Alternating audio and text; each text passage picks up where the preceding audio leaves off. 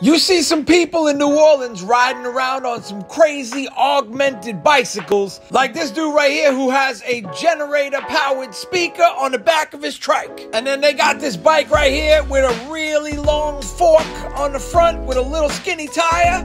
And then in the back, they got this thick tire. This bike right here, they welded a shopping cart into the middle of the frame.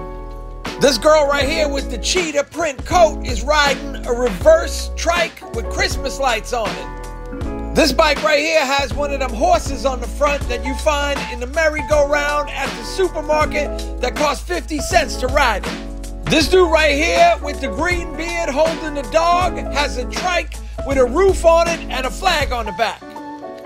This dude right here welded a couch onto the front of his bike. And he's out here on Frenchmen Street offering people rides like they're sitting in the living room. This dude right here has a bicycle that has a giant gumball machine on the back. And this next bike is one of my personal favorites. Oh man, they stripped it down. We just can't have nice things, y'all. We just can't have nice things.